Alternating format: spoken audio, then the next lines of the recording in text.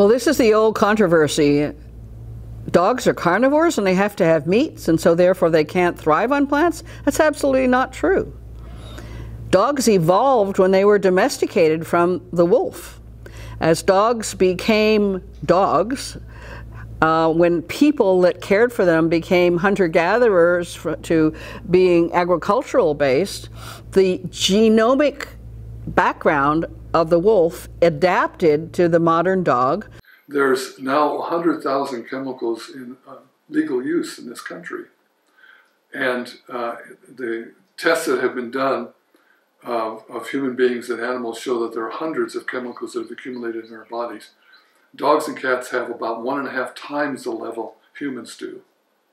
And again, this is because of the way they're eating so much animal product. Generally, dogs eating a plant-based diet have more of a chance to live a longer life, partly because they might be eating slightly fewer calories, and that leads, that is the one thing that we know leads to longer lives in all animals and also because they're avoiding so many toxins, carcinogens, antibiotics, synthetic hormones that can lead to diseases, so they tend to stay healthier longer.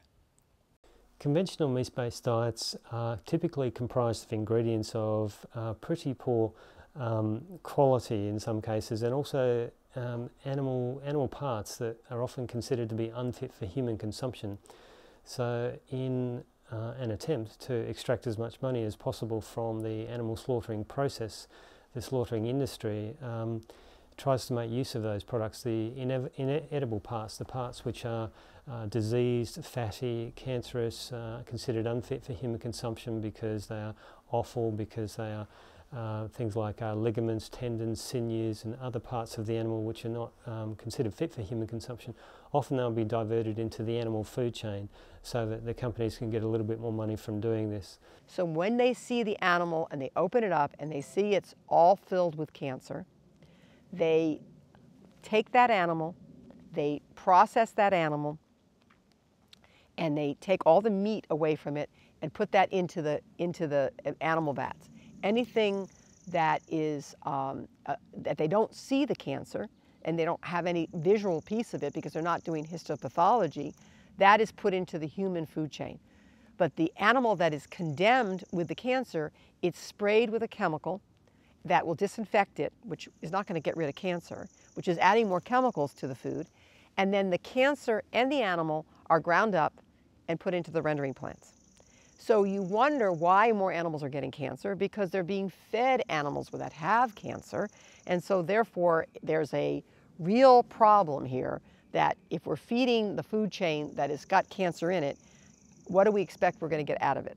Dogs aren't carnivores, they're omnivores. I mean, I don't know how much science and how much debate we have to have around this, but it's very clear based on everything about dogs that they are omnivorous, just like us. That's one of the reasons why they make a great best friend for humans. I think people who allege that feeding a vegan diet to a dog is cruel are misinformed, and they're not using the term in an accurate way. If they wanted to be concerned about cruelty, they should visit a factory farm or a slaughterhouse and see what farmed animals are subjected to, forced confinement, mutilations without anesthetic, including debeaking of hens without painkillers, dehorning of cows, uh, tail docking of pigs, uh, ear notching, castration even without any painkillers at all. That's cruel. Feeding a nutritious diet is not cruel. You know, products that don't make it for human food, and, and the, this could include animals that have cancers, uh, other diseases. It could include um, wounds and pus-filled injuries um, are cut out of the carcasses so they're not fed to humans, but then they can go in, into pet food. There's nothing natural about our lives. So to selectively say, okay, 99.99999% of our lives have nothing to do with nature, but to use nature as a justification for something, for torture and for murder, and for you know wholesale suffering, it it's mind-boggling just how asinine that is. Any vet will tell you that a dog who is fed on a, a meat-rich diet often comes in, in in age with cancers, precancerous tumors, with congestive heart failure, with diabetes. We see dogs now with diabetes. That's not natural for a dog. And I think part of that, a big part of that, is what is being put into the cans and the bags of commercially based meat and dairy based dog food. We, we would not expect a, an omnivore like a dog that has all the um, digestive enzymes to break down plants, plant material, grains, legumes, and utilize these to have any problems with eating a plant based diet.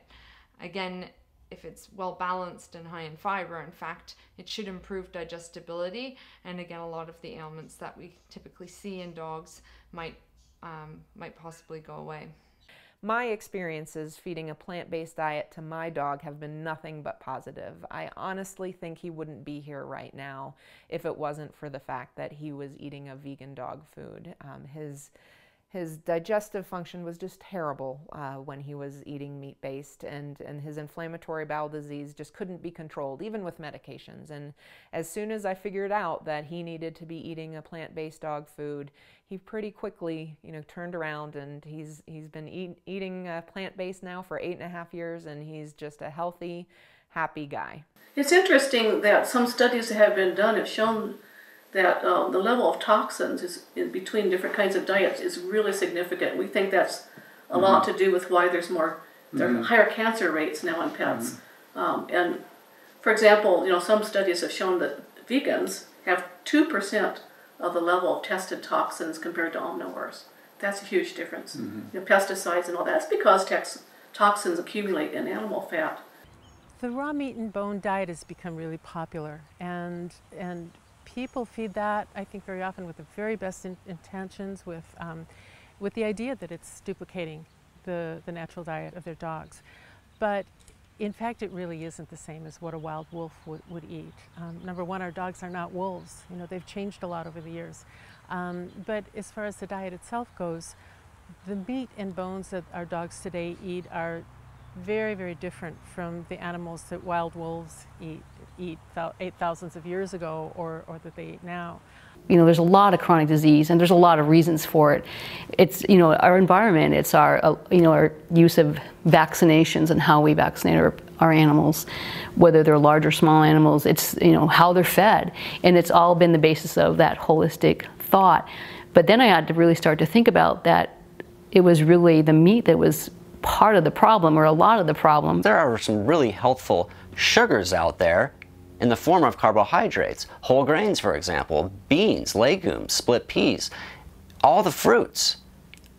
We know that these plant foods can impact cancer risk. Uh, the American Institute for Cancer Research labels them as cancer fighting foods. So there's an abundance of research to show that healthful carbohydrates, natural sugars, are actually helping to put cancer beyond arm's reach. Why would someone want their companion animal to be vegan? How many animals are killed each year just for dogs? Millions? I think it's more like billions. That's a tremendous loss of life